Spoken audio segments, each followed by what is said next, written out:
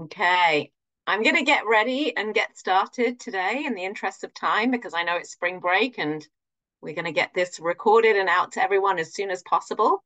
But hi everyone, I'm my name is Emma Gibbons and I'm the Chief Executive Officer of Volleyball BC. Um, and I am very excited to be here tonight um, with some exciting and interesting people to talk about the topic of self-care. So before we get going, I'd like to just acknowledge that I'm joining today from the traditional and, and ancestral territories of the Tsleil-Waututh, the Squamish Nation, and the Musqueam. But we acknowledge that volleyball is played across this province, and we're very grateful for that opportunity to do so. And um, joining us today, we have a couple of our mental health ambassadors. We've got Derek Thiessen and Shanice Marcelle, who are joining us, and they will be working alongside Shaunna in delivering this presentation and adding their own um, personal experiences and tips for self-care um, and I'm going to acknowledge up front that Shanice is on a different time zone and may have to leave early and dip out. So we'll we'll glean what we can for her while she's with us. And so without further ado, I'd like to also introduce Dr. Shaunna Taylor, who's the past chair of the Canadian Sports Psychology Association and works out of UBC in high performance coaching and leadership. She's also the executive director of Pacific Sport Okanagan, and she has worked very closely with us on the mental health toolkit and the resources that we've been bringing for everyone. So I would like to hand it over to Shaunna and let her get started on this packed hour of tips and tricks on self care. Um, and one final thing if you do have any questions or comments, please post them in the chat or directly with me I don't think it's fully working because I can't see everybody that has um, I can I think I can see you differently what than the rest of the panel. And so um, I will moderate those for you, Shaunna, and let you know if anyone has any questions. Oh, and you're and you're muted.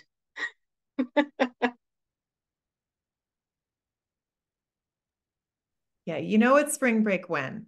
yeah, sorry about that. Okay. There we go. You can hear me. You can see me. Excellent. Um, yes, and I actually I am coming uh, to you on, and and I have the privilege of living, working, playing, and enjoying the beautiful environment here in the unceded traditional territory of the Syilx Nation in the Okanagan Valley. My pronouns are she and her, and I'm really excited to have this last last webinar in a series. We have a few more coming up that are um, somewhat connected, but this was the the third in a trilogy that we've been doing, and it's been so great having Shanice and Derek. And we think that we won't have anybody else joining us this evening due to some really big news potentially with our other ambassador.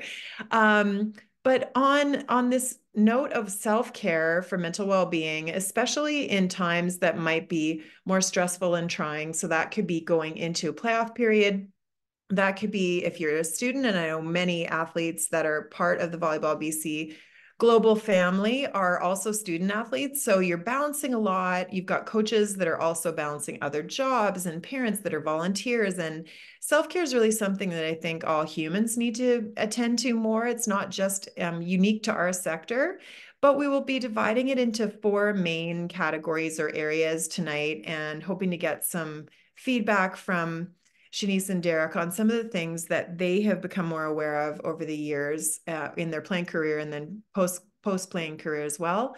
So talking about just a little more enhanced self-awareness of where we are at with our mental health and well-being and when it might be time to take a bit of a self-care break or use it as a preventative measure. How we build this concept of resilience so, being able to sort of roll with the stressors of life and be able to have the resources and coping skills necessary to be able to manage a wide variety of stress and curveballs that come at us in your sport, literally and figuratively. Um, and then things like, you know, what is holistic wellness? Is it just about our mental health and managing emotions, or what does that mean to really understand what holistic health and wellness is and it, it's a it's a pretty massive field so we're going to try to take a look at a couple models especially some that are more multicultural that might help inform us better. And then how do we plan for? Are there tools out there? Are there trainings that you can take to get you a little more up to speed on how you might want to create your own self care plan? This is in and out of the sports sector, but certainly a way that you could intersect your personal life with something you're passionate about, like your sport career and your volleyball playing career. I have mentioned this before, and I, I, I repurposed this slide from a webinar that I did around a year ago. It was on performance anxiety, Emma, you may remember, and how I, I have started to use different terminology over the years, or I try to have a variety of terms in different language that is not as stigmatizing to understanding more about mental health and, and wellness. And so there was a real push initially, say two, three decades ago, really when the field of sports psychology and performance psychology was starting to get its footing in the sports sector. And we talked a lot about building mental toughness. And there are pros and there are cons to this concept of toughness. You know, sport, it, we were just speaking before we came on the air here tonight talking about how stoicism is almost baked into sport, right? Being able to so- soldier through and be able to some sometimes push aside our one kind of need in order to meet the performance demands of another, and especially in a team sport. But this idea of toughness also comes with it a flip side where I think sometimes athletes, coaches, volunteers, parents have this association with the word toughness that if you're not mentally tough, it must mean, well, I guess I'm mentally weak. And that that presumption is not helpful in order to get people to to do more help seeking and be able to understand that it's it's okay if this fluctuates this concept of of mental toughness. So, what would be another term? And so, I really like using it's not that I have completely dropped the term because it still exists, it's still very much part of the research. And there's a whole, you know, field surrounding mental toughness and equating it with resilience. But I like to use this idea of, of emotional agility is one way we can put it, or having flexibility and knowing that whatever you're feeling right now and whatever is going on, will eventually pass and that there is hope that we have internal skills and things that we can do to help buffer ourselves when we have stress in our life. So, mental flexibility, overusing the term um, mental toughness exclusively. And that just even the words can have a really big impact in a lot of areas in this field. We also have some tools that are included in the toolkit that Emma has um, made available for everyone and part of the Volleyball BC um, gang is, is this check-in tool and the traffic light method that was designed by Game Plan. It was borrowed from and adapted from the Mental Health Commission of Canada. And they've divided it into traffic light zones. So you've got the green zone and the amber zone and the red zone, just like you know the universal symbol for traffic and getting athletes, coaches, parents, all stakeholders in sport a little more familiar with this concept and idea and and really zoning in on where they are on any given day. Because there might be a day when you're showing up at practice or you're getting ready for a board meeting or you're heading off to a tournament and you are really you've got a lot going on and you can just sense that if you take a look at some of these sim- symptoms or states of being in the middle, you've got intermittent anxiety. Maybe you're starting to have a little trouble sleeping because you've got increased stress right about now. Your energy is a little on the low end of the scale. Your performance has been suffering somewhat, you might become a little more socially withdrawn when you're in this challenge zone. It can be really good to understand where we are and find language for that and know that that's actually often a really typical part of the human experience, but especially in sport where we have a lot of challenges, of course we're going to be in the challenge zone.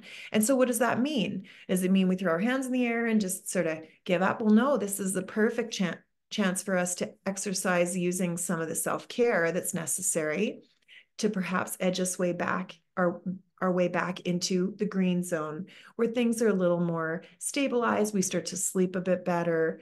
Um, our mood might not be so edgy right? And understanding which zone we're in can really help dictate how much self-care we, we might want to apply So this idea of the the traffic light method, and there are other tools that are very similar, but go along sort of the mental health continuum is another tool that you will find in the toolkit. Other things to be aware of if you're going to look at that concept of the the zones is to understand what this emotion wheel looks like as well. And athletes are going to find themselves I mean, it can be quite the kaleidoscope of where you are in this passionate world that we live in in sport. You could find yourself going in the course of just simply one tournament, or frankly, even in an hour, you can find yourself migrating through all kind. You can go from the red zone where you're feeling kind of anxious, sort of pre-serve, or it's a really tight game, to you're getting really excited and playful because now you're up a few points and the mood is lightened to rolling down into the blue zone where you make a big mistake and especially when we're dealing with younger athletes or athletes that maybe have less experience they can really be all over this emotion wheel so just being able to understand that having fluctuating feelings and having feelings that are different in this weather report. This is a really easy way if you have children that are younger and have a tough time maybe dealing with more complex terms. You can introduce this concept of taking your emotional weather report. So you'll see you've got the red zone where it tends to be more really high energy, high arousal and negative feelings on the top left quadrant to energized and more positive in the top right renewed and lower arousal or energy on the bottom right with things like calmness and trusting and peace. And then when we're edging towards more of the burnout state where we've got low arousal or energy and more negative feelings. So sometimes if we identify, for example, we're in our challenge zone, and specifically, I'm in my challenge zone and I am feeling stressed because I have a lot going on with school and I have this big playoff game coming up and I am just on edge. Sometimes just naming it and saying what it is, you know, that you're feeling. You might not even know why, but just naming it can kind of de escalate them and normalize, not minimize, but normalize what you're feeling. And then we start looking at some self care to maybe be able to manage that. So just giving language to athletes, giving language to coaches as well because coaches are feeling this just alongside. And so are the parents, right? And so are the volunteers and the officials and the leaders and the volunteers. So just, I think, acknowledging our humanity. This is a really important model. I don't know why I'm highlighting the red zone, but oh, I know why, because we use this for the performance anxiety. That's why I'm repurposing it from the performance anxiety uh, webinar that I did last year. So if you haven't seen it, go back in. And Emma, is it still available? We have that up, right? So it's recorded there. It's archived. Great. Yes. Well, all of these are actually recorded and like put all on our YouTube channel, so I can send oh, the links to everybody. Okay, fantastic. So, so if we're going to talk about flexibility, we're going to talk about practicing better self care we need to think about, you know, what can we do to improve our mental health through self-care then? What can we do specifically in the sports sector? How does sport culture sometimes affect our mental health and where does where does self-care fit in? And I wanted to make sure that we had the opportunity because we do have many tools in the toolkit that are very informative and some of them are provided. You'll see in the top left corner here um, with the logo from the Canadian Mental Health Association. So we have permissions to be reusing and quoting from some excellent organizations that are available all across Canada. But this is a really great model that they use at the CMHA that shows that you can have, for example, in the bottom left quadrant, you can experience poor mental health but not necessarily having a mental health condition. So you've got um, on the two axes here, you've got symptoms of a mental health condition or, or, or not no symptoms at all, right? And poor and very positive mental health. So you could actually have a mental health issue or concern and not necessarily have it obvious to everyone else but you might be aware of some some of these signs and symptoms and you might need to enhance your own self-awareness and take a look at some of the tools and then decide whether or not you want to maybe get some help for that or perhaps practice some of the self-care in order to manage some of the issues that you might be having. But this tool and and more explanation is also listed in some of the tools in the toolkit as well.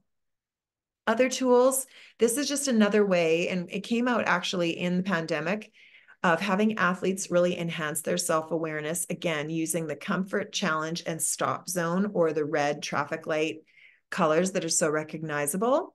During the pandemic, it was a really tough time for everyone, but in specifically at the Canadian Center for Mental Health and Sport, we wanted to design something that athletes could relate to. And we wanted to have something specifically so that they could identify where they were and be able to personalize plans to help them cope. And so that's what we're going to talk about tonight some of those self care plans. And then finally, on this note of checking in, just as a final model that's a little bit easier, if you're dealing with much younger athletes, so they may not even fully understand the zones. They're not as big into big text and they're they prefer things like images and you might want to just talk about it as a team.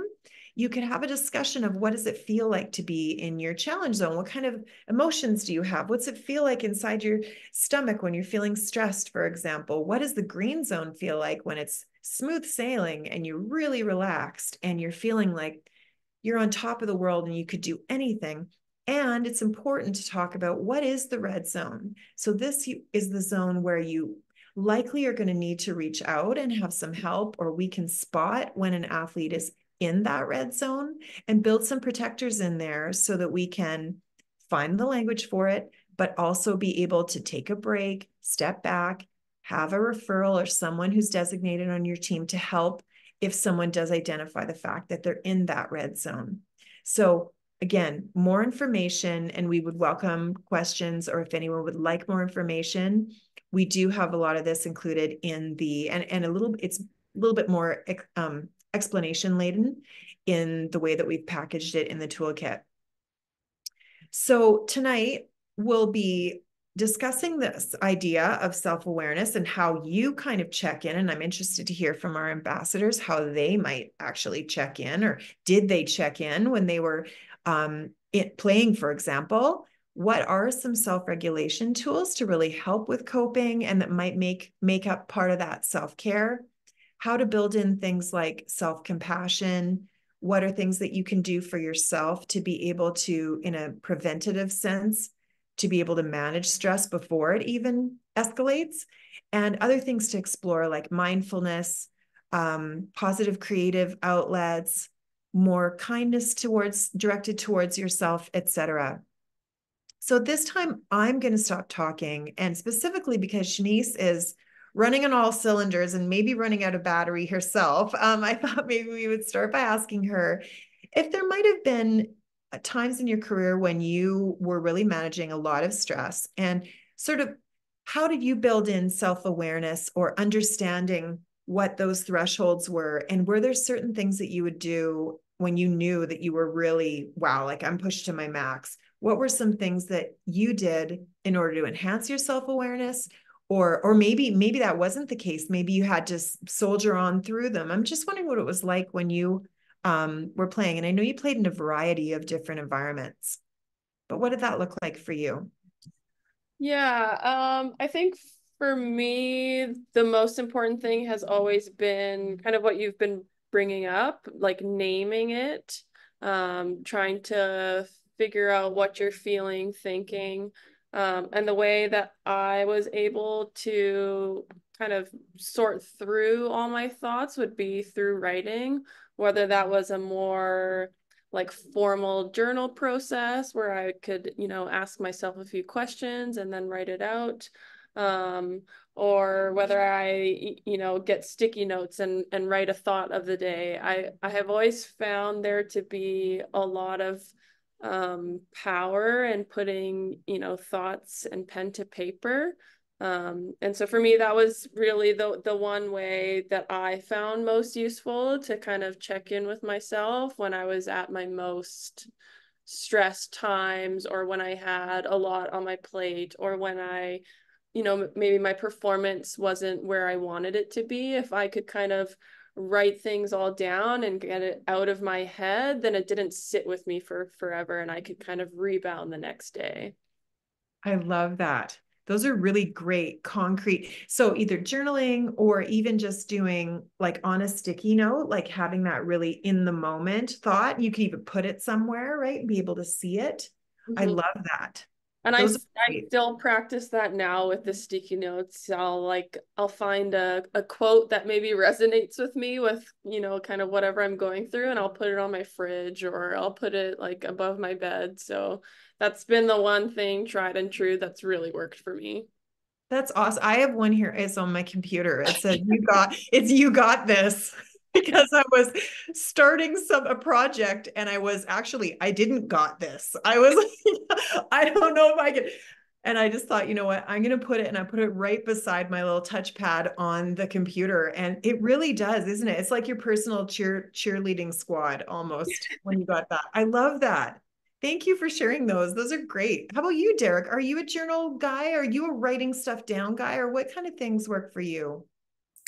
Um, yeah, I mean, I'm definitely a big thinker, so I know my mind needs a place for my thoughts to go. Um, just so I think as, as Shanice was saying that I really resonate with that.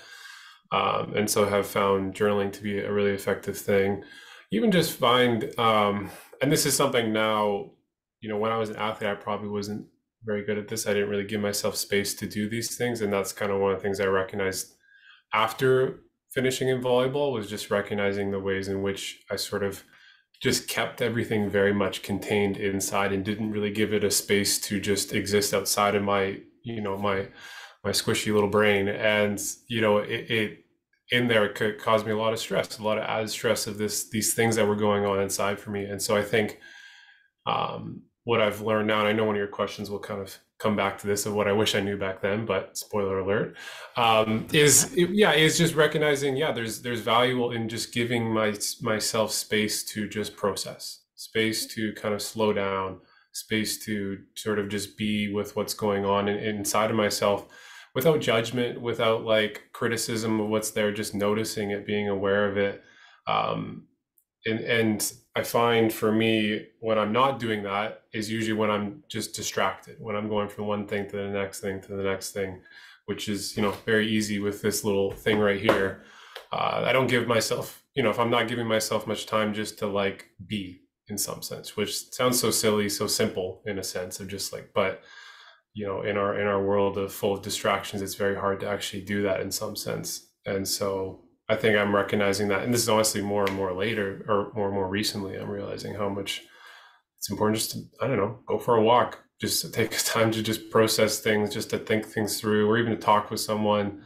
Um, you know, I think that's a big thing I really struggle with as an athlete is I just again kept everything inside and thought I could figure it out on my own, and didn't really tell people I was struggling, and continued to struggle because uh, I thought I had to figure it out on my own. And you know, some of that is I realize I can I can process a bit, but I also realize I could have used some help too. So I think that, you know, even though that's care externally, I think there's a self care and recognizing that you it's okay to ask for help.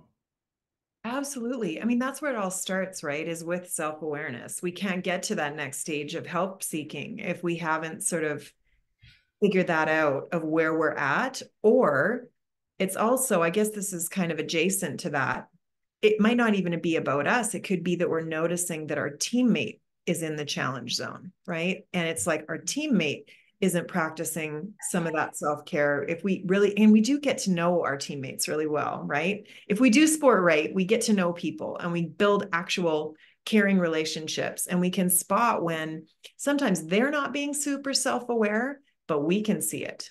And so there's also that just caring and reaching out piece um, if there is that athlete or coach or whatever role you have in sport that is keeping it inside and just asking we've got a whole section on a communication section about listening with empathy and how you can communicate and be able to destigmatize those conversations around mental health. So that's a really great segue, Derek, into that. Um, and thank you. Thanks to both of you for those really great ideas. And like just your lived experience is so rich this actually and blends well into some of these core strategies for managing stress and uh, anxiety. If we look at some of the broader categories that through the research and more applied practice in really popular uh, mental health agencies across Canada and internationally, You've got them broken down into four main ones on this particular slider model. So there's attention or centering techniques. So that could be just exploring concepts like meditation, is really having a moment because yoga is getting more and more popular. I think everywhere you go, there's a yoga studio popping up, especially if you live in the lower mainland, they're everywhere. And um, and understanding breath work and the power of breath and oxygenated blood and an oxygenated brain and how important it is, and using things like visualization, of course, for performance, but also for well being. And just sort of seeing yourself in a really calm, amazing place. So, having sort of attention and centering techniques that can help neutralize anxiety and be able to expand creative thinking, for example. So, that's one way that we can practice self care and manage anxiety at the same time. The other one is where we're specifically looking at our power of expression comes into things like journaling actually, actually fits into this category as well as the reflection category. I think journaling, I've had some athletes where they're even doing doodles as well. So they're not just writing words, they're also drawing pictures. And especially for the younger ones that are really creative and artistic and don't always have the words, they can just draw the pictures or draw the face, the expression of how they're feeling in their performance journals. That can be a really great way to get it out as well.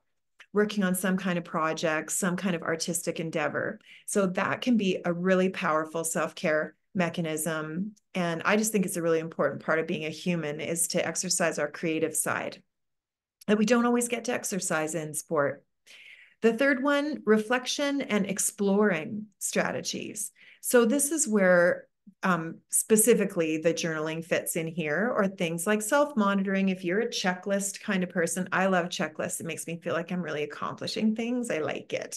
you know, check, check. Of course, it has a downside because if you have 25 things on it and then you only do eight of them, again, we have to be realistic and kind to ourselves when we don't get down all 25.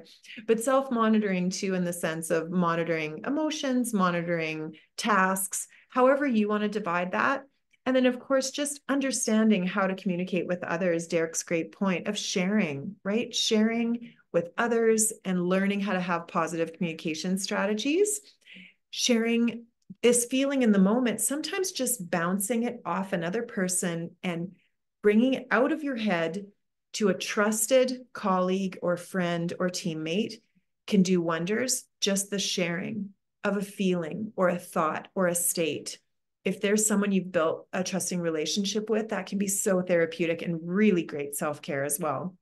And then the last one, of course, nutrition. We're exercising because in sport, but um, any other kind of I guess uh, Derek mentioned just going for a walk. Exercise doesn't have to be grueling and the kind that's necessarily um, really high, high impact, high tempo can be outside and even combining techniques. So taking the deep breaths, being really mindful of your surroundings and going for a walk and get and we really should have getting out in nature on one of these slides. I guess I would put it in the healthy lifestyle and the balanced lifestyle.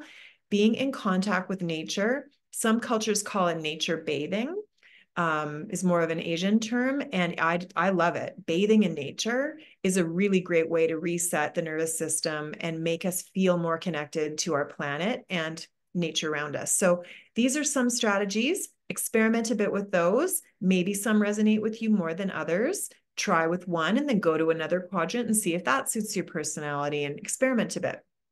This is another sheet um, that we sometimes will use with athletes if they're getting to a point where in the season where we want to do something creative and we want to either brainstorm as a team or maybe just have people do this individually think about the different things that they can control and that are in that self-care realm and then the things that they need to let go and just adapt to and just accept that they're going to happen and just let it go. So you'll see it. I don't know, it's kind of small font, so you might have to squint, but it says things like, you know, fuel and hydration. A lot of things, frankly, like the previous slide, positive communication, spiritual practices, meditation, getting school support if you need that extra support, connecting with other people, general self care. So that could be even something like um, filing your nails, you know, whatever you feel is part of your repertoire that you can control and tends to make you feel like you're keeping on top of caring for yourself, which is exactly what the term means. So, focusing on those and then naming a few things that are going around up here, but over which you have almost no control, but are maybe taking up a little bit too much space. So, that could be ruminating over the mistakes you made in the last game or something that is upsetting or is causing stress to you, but you have absolutely no ability to change it or an outcome or some kind of constraint, is there something next to it that can help buffer it that you do have some control and autonomy over? And even that, just that brainstorm, is a good exercise to do. And that's anyone. This isn't just exclusively for athletes. I think coaches need to do this too. Coaches have a ton on their plate so do parents, so do sport leaders, so are the volunteers that make sport happen. So being able to let go of the things I cannot control, there's that one issue that just keeps coming up again and again, and I need to learn to let it go. And I'm going to focus over here because it fills my cup. That's self care. Another thing that we can do is we can frame it in the way of goal setting. So it's similar idea to the last slide is where we might want to put our focus. And this can be a fun thing if a team is getting ready for playoffs, for example, and you get them all together. And you could do this individually or you could do this as a team. But again, you're looking at things in control and out of control. What are some of the things if you're going into playoffs and provincials and league finals?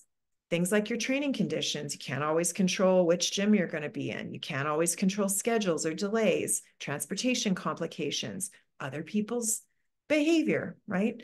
Um, you might have differing opinions on some of the calls, and we want to be respectful to our officials, right? So letting some of that stuff go and instead redirecting or pulling from the team. So have the coaches, have the engaged parents, have the athletes come up with the areas that are in their control, especially in the performance realm, but also in the self care realm, like nutrition, hydration, rest, recovery, positive connection with others. All these things are going to fill your cup. You're going to have a better experience.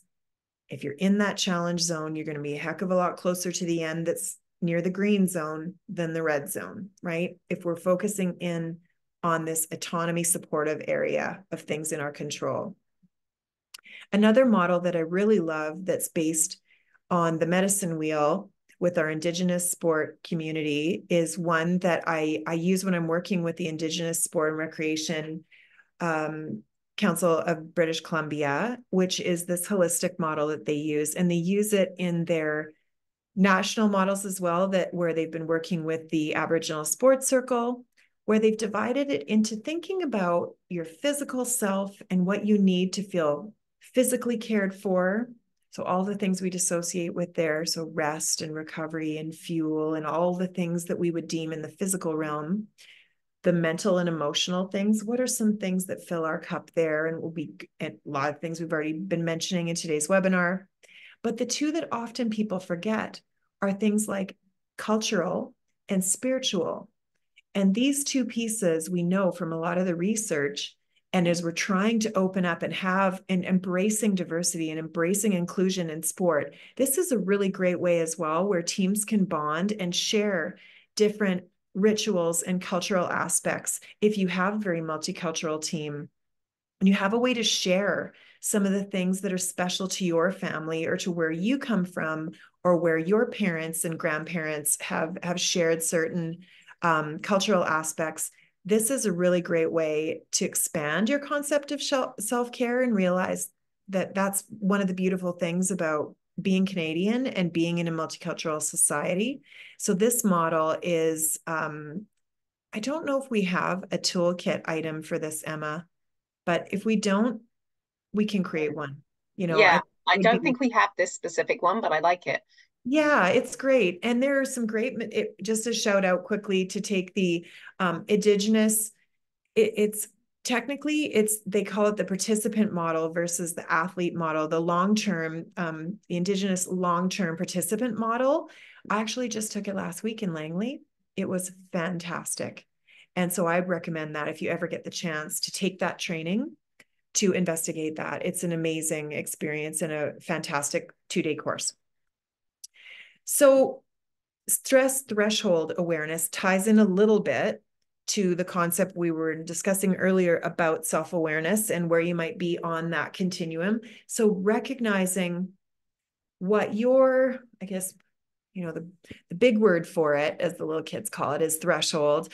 Um, but a more understandable would be kind of level. What's the level of stress that you're managing at right now? Can you cut down on some of those threats that are within your control when you're at that limit?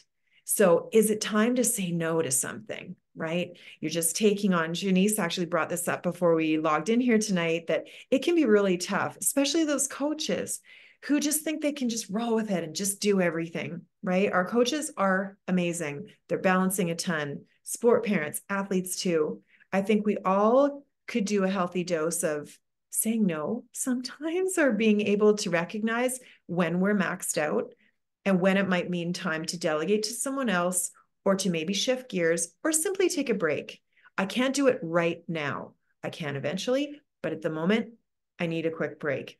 Acknowledging that is okay. It's great for our mental and physical health when we build boundaries. Mindfulness, again, paying attention to the present moment.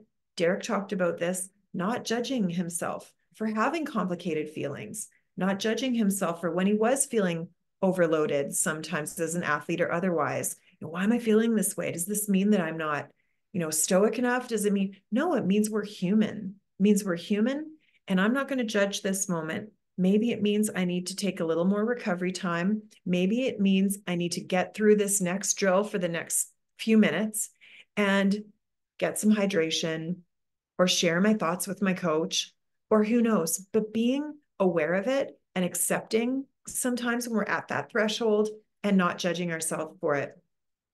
Catching ourselves when the thoughts become increasingly negative and different to ma- and difficult to manage and this is a big one i know that coaches are trying to become more aware of their own thoughts their own negative self-talk too and then how that might project onto their athletes and in a previous webinar i believe it was the one i might have mentioned it also on the positive body image webinar but i know i know i discussed it in the managing performance anxiety is introducing a mindfulness complex, uh, concept at the very base called developing a wise mind approach. And this is making anyone who's understanding this model more aware of the, the states of mind. So when they are in a very highly emotional state and that emotion mind is driving their behavior, naming it to tame it, saying, Woo, I'm feeling it's very emotional right now. I'm feeling, and maybe even name it if you know what that emotion is. Sometimes you don't. You're just you're just tense, you're not sure what it is, but you can name it. Sometimes you're in full on just I am in problem solving mode, I am in logical mode, I am in reasonable mind. I'm not necessarily engaging as heavily into my emotional mind we might be over there too, especially when we're doing schoolwork or doing some um, really task focused. The wise mind and where I think performers tend to be at their best is when we're balancing both.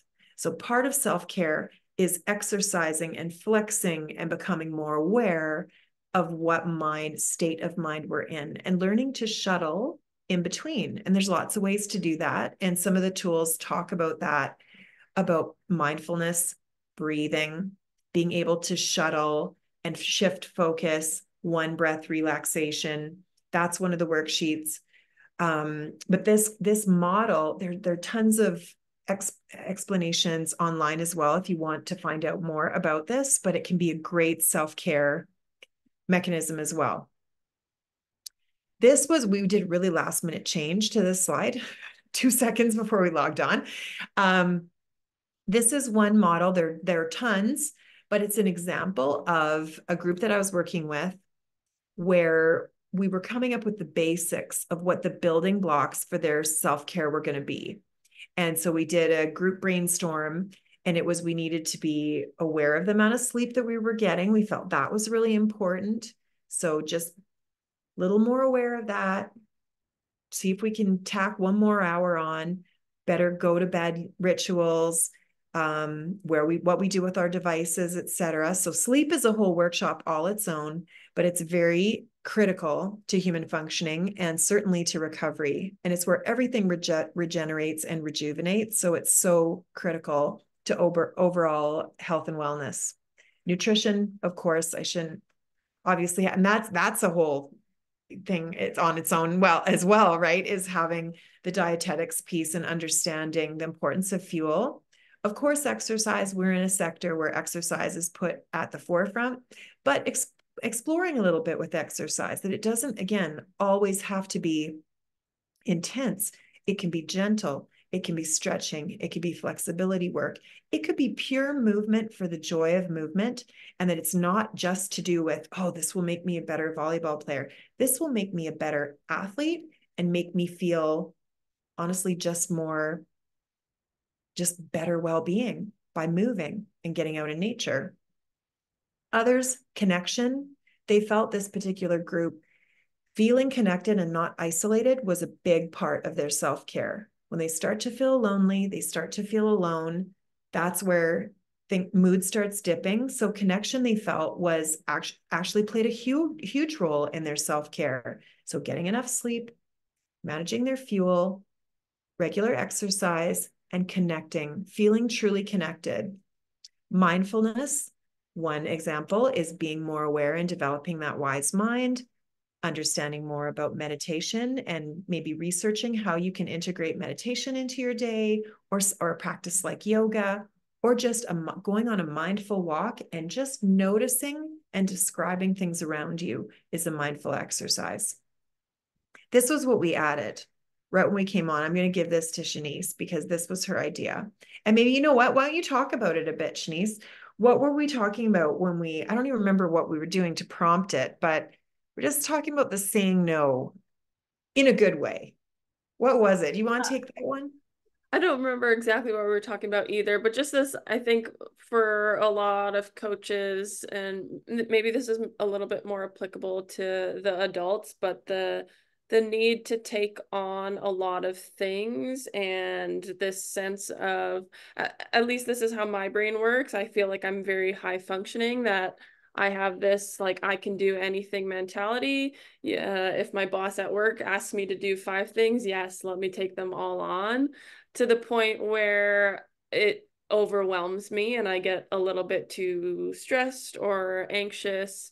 Um, and so trying to figure out where is that where is that boundary? Where can I step in and say no and be like, no, that's actually too much as a form of self-care instead of viewing it as maybe like a weakness. Exactly. Yeah, that I think we were just talking about some of the challenges of coaching. Yeah, and specifically that's what launched us into that. But you're right. Like anyone in any role, I guess, could fall into the not having the solid boundaries there, not having a lot of trouble saying no and uh, delegating, for example. So, yeah, thank you for that ex- explanation. And then on the bottom, they kind of, I don't know why I have them all in the same cell, but this idea of being compassionate to yourself, being gentle with yourself and kind with yourself, and aware of the way that you talk to yourself inside your own head. If we could stick the microphone in there, what is the kind of language and tone that you're using with yourself? Is it gentle? Is it forgiving? Is it matter of fact, but fair? Right? So not everyone is going to have super gentle, flowery self talk language. And, and that's okay if that isn't your nature. But I think we all need to work towards budging ourselves over into more of the self compassion and kindness realm, especially in sport, which does tend to be. I've used the word stoic many times tonight, but it does tend to be a more of a we need to be stoic. We need to be able to manage things like pain and discomfort and difficult emotions. And it is competitive. That's why they call it competitive sport sometimes. So there's a lot of discomfort we have to weather with sport. But that's all the more reason why we also have to be gentle with ourselves when we need to prepare and recover from it. So I think it's important that we move in this direction. And more and more when I'm working in high performance sport, this is the model that I use with our national team and Olympic and Paralympic athletes a lot because they have a very strong self critic. It's why they've gotten so far in sport because they were able to push themselves. But in order to sustain that and reach the highest heights, I think we also have to be gentle with ourselves when we really need it, or we will burn out, right? So it's building a balance in the language. I think sports come a long way. We're not quite there, but we're getting there about being a little more gentle to ourselves and others, and that performance can still exist in a self compassionate sport universe. The two can exist, right? Um, Derek, would you add anything to this model? I mean, you work in the field of mental health. Would you add, are we missing something that you would have put in here for your own? I'm getting putting you on the spot. I didn't warn you. um, I mean, I'd say this is really complete in many ways. I mean, I would only want to reiterate the self compassion piece um, further. I think that's such a, it's something I've been thinking more about just in terms of how do we um, integrate that into sport that in a way that sort of suits the culture in a sense like in and like you said in that mindset of really wanting to push ourselves yeah. like what does it mean to push ourselves in a way that's not mm, not as much critical but more encouraging in a way? And um, someone i really like in the field of self-compassion is kristin neff. I'm not sure if you're familiar with her. She's a big researcher in that but she talks about this sort of the yin and the yang of self-compassion where there's this tender self-compassion which is kind of the one we're all familiar with which is very kind and and saw and that gentleness. But then there's also this this fierce self-compassion that she refers to which is a bit more of that like uh, she uses the analogy of like a mother bear and its cub. That that mother bear would be very protect very kind and caring and nurturing but it would also be willing to protect and provide and motivate that cub.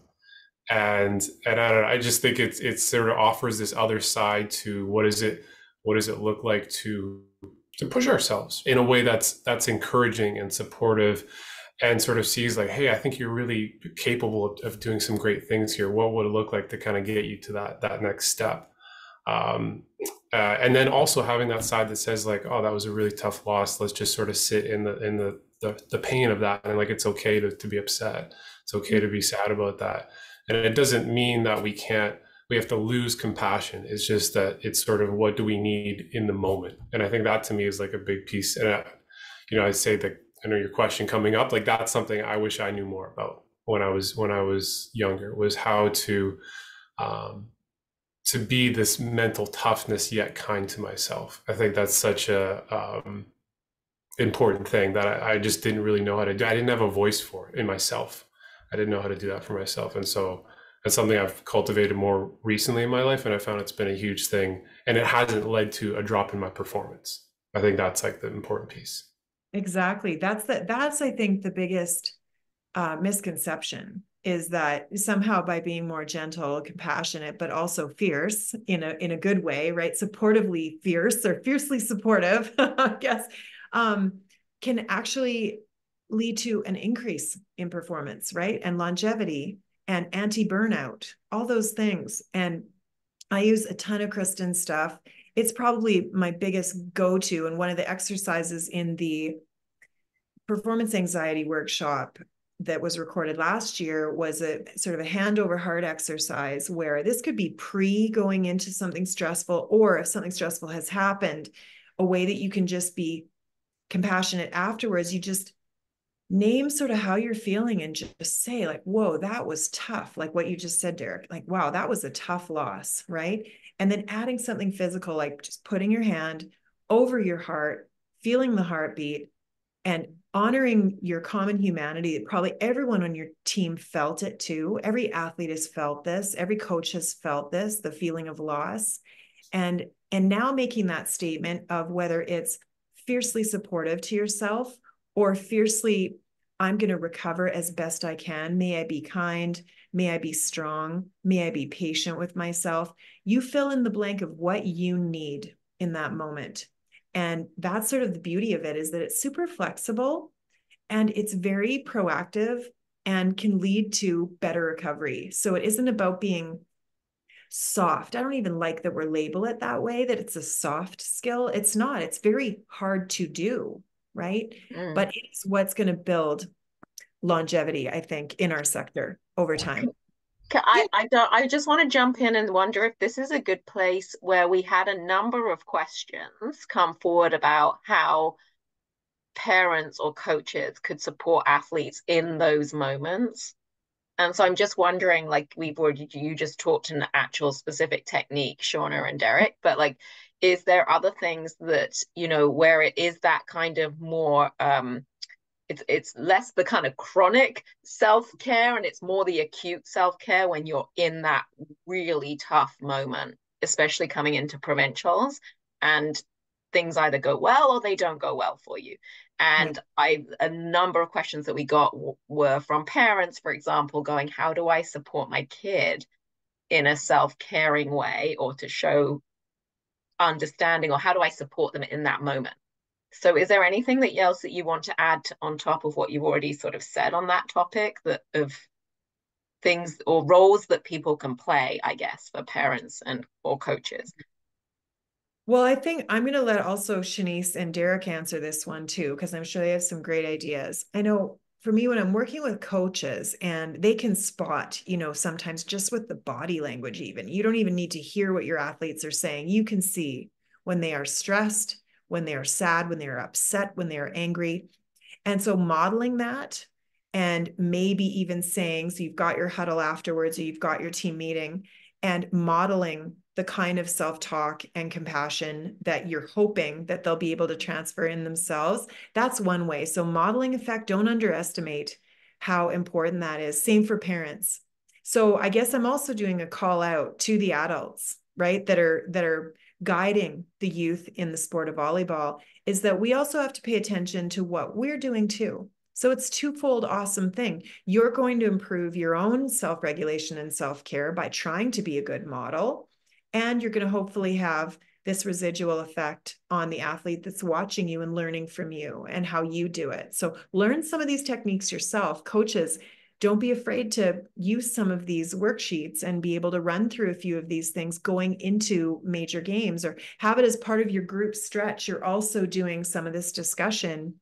I call it stacking tools, where you're not just doing one thing, you're having a drill, but you're also using a mental health component or a mental performance component while you're doing something physical like stretching.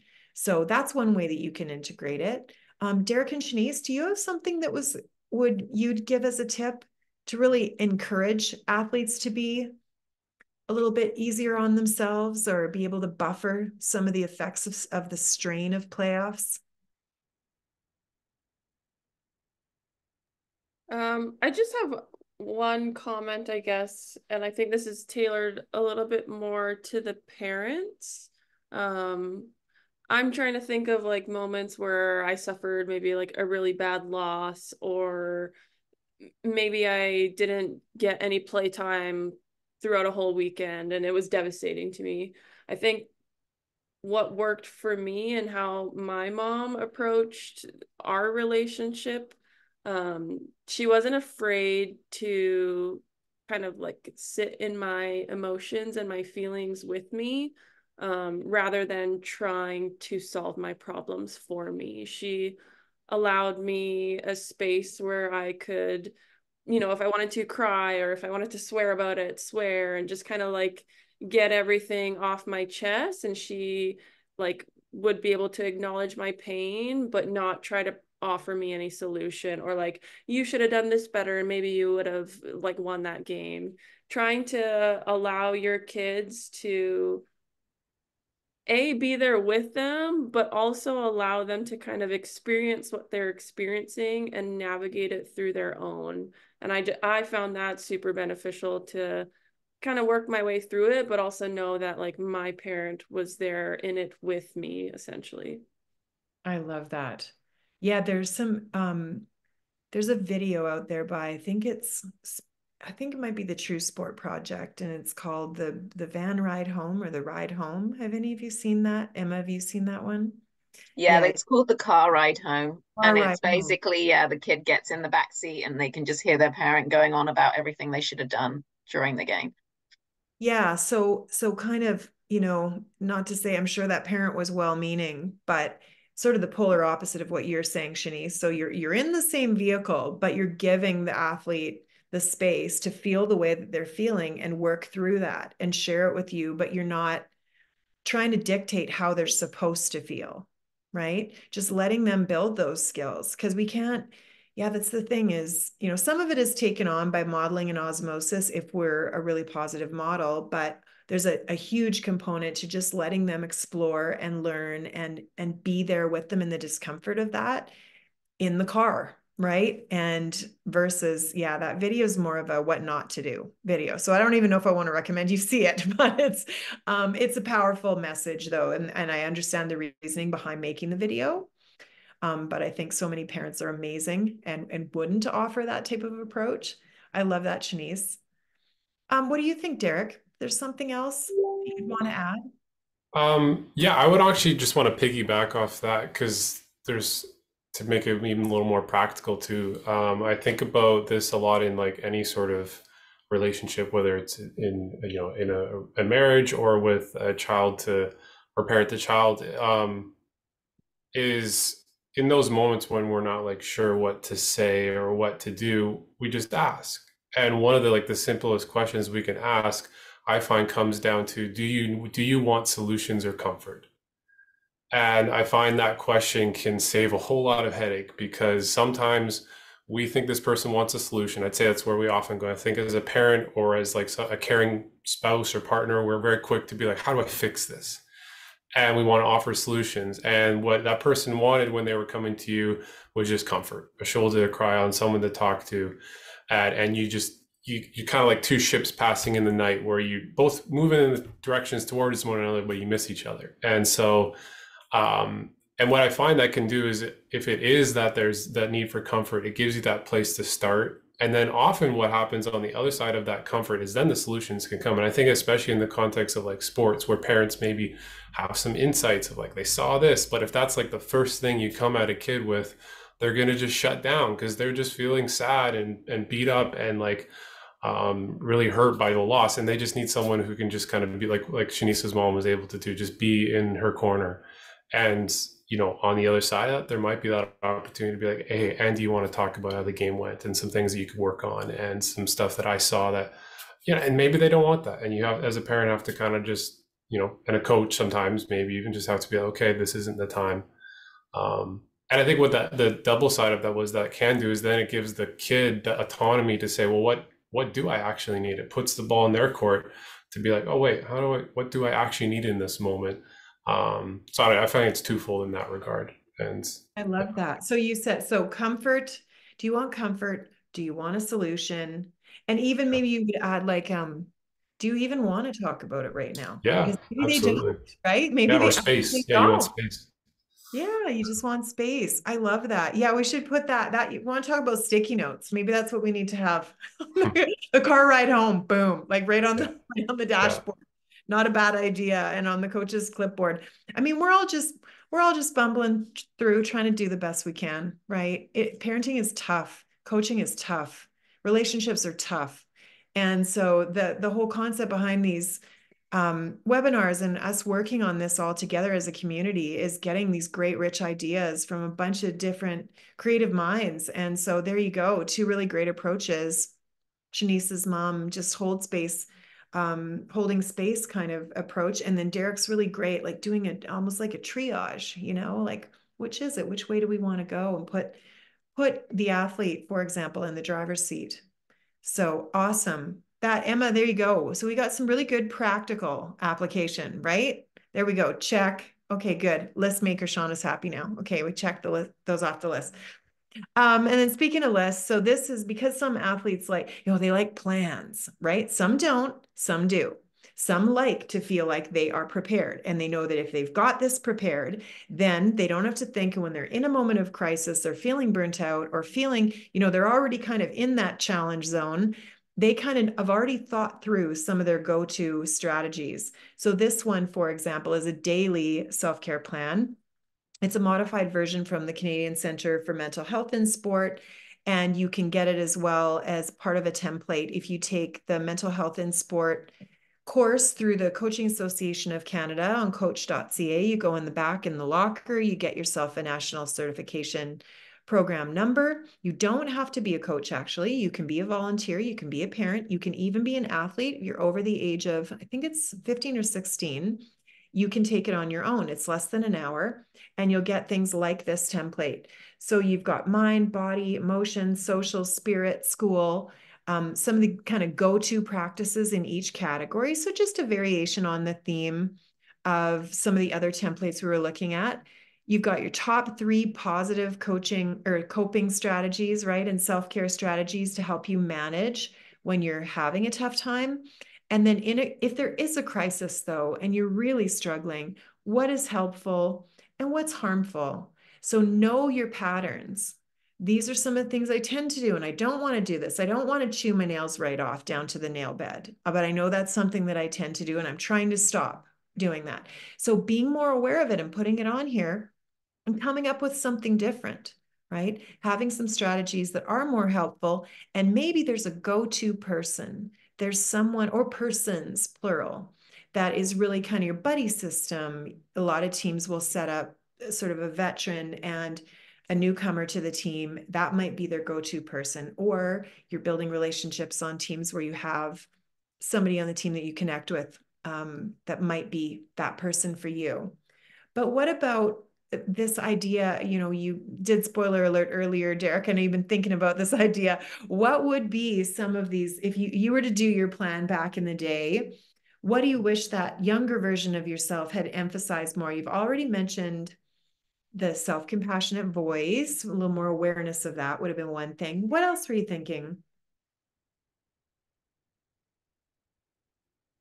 Um, I think for me, and this is definitely just like not everybody, but I know for me, like I'm a very relational person. Like I just I I care a lot about my relationships, and I think for me, I took a lot of time to care about the people around me. Uh, I was sort of a counselor on my team in some sense, and now find myself a counselor today. Um, and I think part of that led to me neglecting myself, right? My my my well being, my needs and you know i think this ties a lot into self-compassion. And i, I talk about this when i work with people in my job like uh, we're very good at being compassionate to others but we suck at doing it for ourselves. And, and, you know i think it, it's it comes from a good place. It, it comes from a, a sense of wanting to care for others. But you know i think we're so good at spotting when other people are being hard on themselves but you know struggling to kind of do that for ourselves. And so I think if I could have had more of that ability to to engage with that again, have that compassionate voice, that that recognition of like, would I treat a friend the way I'm treating myself? Would I what would I say to a friend if I was going through if they were going through what I was going through? Like that in itself can be such a simple answer into uh, a different way of approaching it. Because if they deserve it, then why not you? Like it sort of just comes down to that for me. And so I think that would have been huge uh, if I could have had more of that in a way in my life. I love that. I feel you heavily on that. Yes. That's I love that one. Thank you for that. Do you have something too, Shanice, that you wish younger version of Shanice? Yeah, definitely. If I have like one regret about my playing career, it would be the fact that I didn't become like a well-rounded person until much later in life. And so I had a, like a I had a traumatic injury when I was 25 years old and that I needed shoulder surgery. This was my big my first major injury in sport and like the moment my sport was taken away from me, my identity essentially crumbled. I was like, "Oh, who the heck is Shanice?" And so eh, if there's one thing in like talking about a self self-care plan, I really wish I would have explored other things that I liked more at an earlier age. It took me to much later in life to get to do that where now I love I love painting, I enjoy drawing, I enjoy reading and those were you know a lot of things that I didn't explore when I was younger because I was so heavily invested and so heavily focused on my sport which you know is not necessarily a bad thing it helps get me from a to b and and have a really great career but that's just one thing I, I wish I would have spent more time on in my youth so that I, you know, didn't struggle so much when my sport was taken away from me. And I, I I'm gonna have to go after this, but I, I there's like one quote that I I live by now, and it's it's basically that you've made it through 100% of all of your bad days. And it's easy for me to say that now, being on the other side of some very difficult things that I've had to experience in sport. Um, but I think if I could have, you know, been a little bit more well rounded growing up, or at least explored different things, it wouldn't have been so challenging to go through some of those things. That's awesome. Thank you so much. That's a great one to end on. And now, speaking of self care, yeah, maybe you need to head off to in a different time zone. Yes. Thank you so much. Thanks for joining us tonight. Thanks. And that great idea. Yeah, just that really balanced identity is so key. Um, and I and I think it is tough because we expect a lot of there's a lot of commitment involved in developing your sport excellence and you know technical and tactical abilities and all all that is part of being a well-rounded rounded athlete. But when we say well-rounded you know that also means things that are non-athletic things that have to do with other aspects to your identity. So that balance can be really important to introduce that earlier on. This i wanted to also just um, to make sure tonight I showed maybe a few more examples of some of what you'll get if you do decide to take the mental health and sport workshop um, or course that you can take through the Coaching Association of Canada. This is one section that they have on developing a self care plan and sort of how you typically tend to deal with life's demands. And they actually have geared this because it's made by the Coaching Association of Canada, they specifically were looking at this particular course with the lens of a coach. So the coach and how the coach would apply this to themselves, but also the awareness to be able to apply this to their athletes. But it doesn't mean that you couldn't be a sport parent taking this or an official or frankly any other role in sport you would benefit from taking this same thing so you see here some helpful co um, coping strategies, some harmful coping strategies. So bit of a self-awareness tool, but also being able to build your inventory and understanding a little more towards what what have been my go-tos traditionally and maybe do I need to retire some of these they're just not serving me right I tend to go towards this and I I end up feeling more stressed or more anxious when I'm scrolling through social media to re to relax, it is in fact not relaxing me. And this is something that more and more actually a lot of youth that I work with in my private practice are saying. They used to use social media, they thought it relaxed them, but it actually got them more stressed. And it and, and it enhanced their fear of missing out and all kinds of really stress provoking mental states. So this is one of the sheets other helping uh, coping strategies as well and leaving space for you to come up with your own. So of course they provide some that are already there for you to see some more common ones but then they leave it up to you to be able to fill in the blanks and and create your own in the plan. Other things not unlike the template that we were looking at a few minutes ago daily self-care different dimensions to that self-care. So looking at it from a psychological point of view connecting with your values. So, what's the most important thing to you that you might value, okay, in this psychological realm? And so, give some examples here like disconnect from electronic devices, make a budget, keep a calendar, make a to do list, seek support from a counselor, make my bed every morning, do a gratitude list. This is going to be very unique to everyone, but it gives you lots of different ideas and Hopefully, you'll take your time as you fill this out if you decide this is a useful exercise. Coaches, parents, whatever role you are watching this webinar can be a very powerful tool. And I use it with athletes um, as well. So, what's important to me? I value what? So, link it to your values. What's important? What do you currently do? And what are some of the practices, maybe through the, the taking of the course, that you might want to try to add to your self care plan? Then you look at the physical realm. Then you look at the emotional realm. And then you look at the social, spiritual, and cultural. So you'll see this links together and meshes really well with the holistic model from ISPARC or the Indigenous sport community. So, doing and repeating the same exercise and ideas and internal brainstorm and putting it on putting it down on paper and going through the exercise is one thing applying it is another right? So really trying to see if we can follow this and enhance our self-care by taking action. And they do have a whole section on an emergency self-care aspect to your plan. We do have many tools as well in our toolkit on ways that we can make decisions whether we are personally experiencing a mental health emergency or a non emergency. So, some of those tools are in our toolkit how to apply them, how to talk about it and approach a mental health emergency or non emergency. And this is how to incorporate it into the plan. So, signs that potentially there is a mental health disturbance that has happened in the past, um, for example, and some signs that it's coming. You you already know when you kind of hit that limit and you're going from challenge zone into red zone, I know when I haven't been practicing good self-care, this is what starts happening. I start getting snippy with people. My I get, you know, maybe someone has migraines and migraines start to cascade through on a more frequent basis.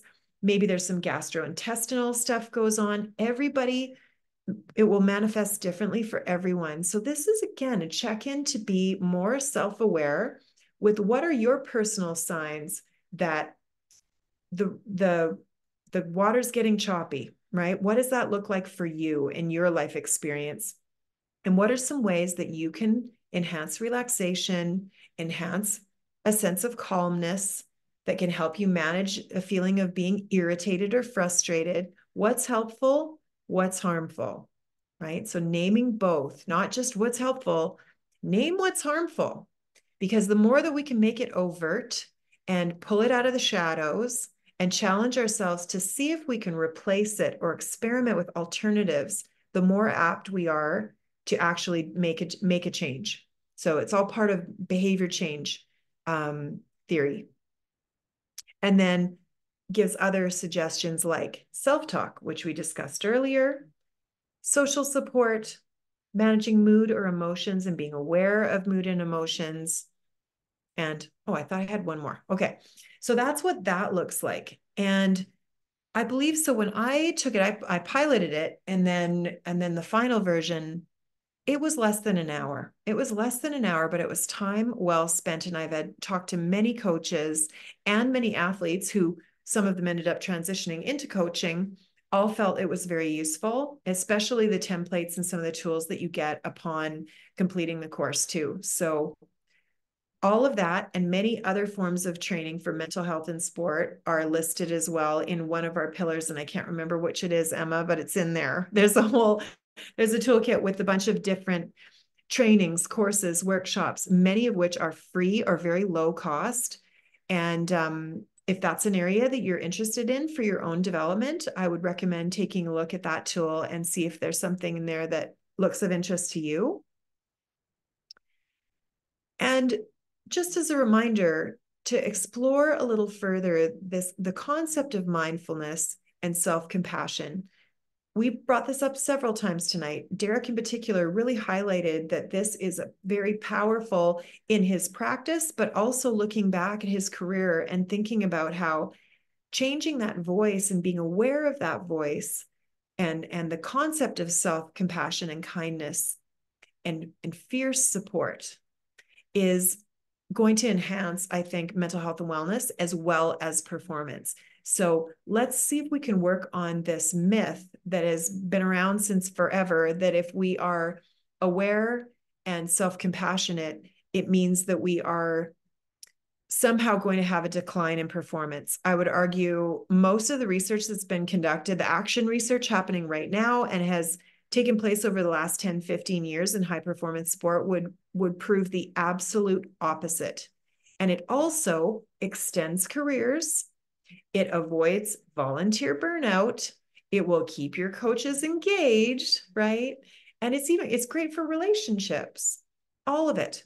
So i don't know it's not a panacea it's not going to solve everything but i think it's a very powerful um enhancement to things you may already be doing to cope and and to practice your own self-care so It's just you, Derek. So it's it's good I just have it singular, ambassador input, as in there's one. You're it. Um, but were there some, I don't know, this is a bit of a catch-all, this particular question, but is there anything else that we haven't covered tonight or thinking about ones maybe that you learned through sport and they've really stuck with you today now that you're you know you're managing a family and you're a dad now and all these things something that really are still really true today however you want to answer this is up to you. Yeah floor is mine i suppose. Yes, um, yeah i mean i don't know i think we've definitely covered a lot of things and a lot of things i i fundamentally really try to hold myself to um and i found to be helpful but I think I mentioned this a couple presentations ago, and I think it's something I would want to reiterate, which is just around like um, creating room for like play. I think in my life, again, sports are so competitive, and I forget that idea like it's ultimately a game and something that's meant to be played and have fun with. And um, you know, that was something uh, my parents tried their best to remind me of, and I sometimes would hear and sometimes wouldn't, but would be just to go have fun, right? Go have fun you know the the especially when it comes to the games right? You can train and you can sort of practice but then when it comes to the moment of actually stepping onto the court how do you just go play and do what you know how to do and and just enjoy that as best you can? And i know it's cliche and i know it's something we hear enough or we hear a lot but i don't think we can hear it enough. And it's cliche for a reason because i think it's so true.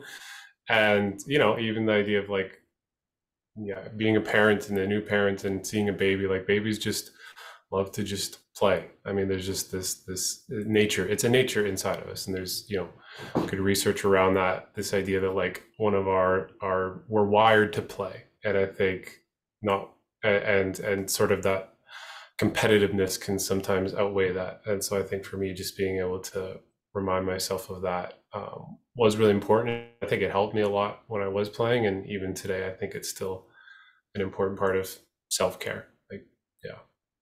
I want to put play in that plant, the one that's like green and blue and has the heart in the middle there. I want to put one of those, one of those. I think I need to add play in there. Yeah, absolutely. Yeah, even like the, I suppose even the word that maybe evokes more what I'm saying is playfulness. Playfulness. Like I don't know, there's something yeah. different there about it, but just like playfulness, being playful.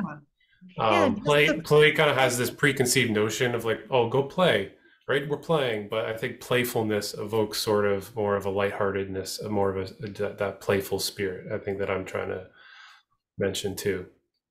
And that's another, it's a huge buffer for things like burnout and it enhances enjoyment, right? And creativity and connection. And I love that. Okay, well, Emma, we got a splash play all over the place. Playfulness, sorry, hmm. all over the place. Uh, plays fun That's awesome. Thanks, Derek. So yeah, and it kind of yeah, it, it fits in the resilience piece. It fits in the wellness piece. Um, self care planning. I hope that for everybody who's been been watching this tonight or who's watching it recorded, picked up something that really resonated with them that they'll be able to take back and either use themselves or if you're someone who's in charge of others and you're a coach or you're a parent, able to apply some of this to that young person in your life that's playing right now. We're coming into playoffs and, and, and exam times and managing some rocky um, or choppy waters. Hope that you'll pick something up from this evening. And if you have any additional questions, I know I don't know if we had any pop up tonight, Emma, but I just no, I just put forward the ones that I had come through to me. So I think we're we're pretty good on that front. But yeah, Fantastic. that was awesome. I know that we've got a ton of people who also re requested this as a recording and it will be going on our YouTube channel. So um, we'll be able to share it with coaches in particular and, and parents as they can support their, their young people as we head into the most stressful part of the season for yeah. everybody. Exactly. Yeah, so I guess that's for me to wrap up, or did you have any last comments or points, Shaunna or Derek? No, just wanted to hold the floor in case there was something that came to you directly as a as a DM that we wanted to address tonight. Because otherwise, really just encouraging everyone to go and take a look at some of the tools and resources that we've already pulled together. And uh, but of course, if there if there are any other questions or if if someone wants to um, send something along, I guess there'd be some channels that they could contact you, Emma. Absolutely. So anyone who registered for this recording will receive the link tomorrow with the recording, and then it will be also providing the PowerPoint slides as well as usual. Um, and then it will go up on our website and on our YouTube channel, as I mentioned. So I guess it just remains to say thank you, Shaunna, and thank you, Derek, and a belated thank you to Shanice, who had to leave us. Um, but that was another awesome session, and that will conclude our series for this part of the season. But I'm sure we will be back later, and that is a, a, a, plug also to everybody who's watching this to let us know if there are other topics or themes that you would like to hear from, because um, these have had such great reception from people. And I know that there are a lot of other hot topics that often bubble to the surface. So if you do want to hear about want something that's specific, please send either myself an email or to our communications at volleyballbc.org and um, we will endeavor to put it on as, as we keep unfolding these webinars. So thanks everyone for joining us and a huge thank you to you, Shaunna, and also to Derek for coming on and participating this evening. Thank you. Thanks everybody. Thank you. Thanks, Good evening. Bye. Bye. Bye for now.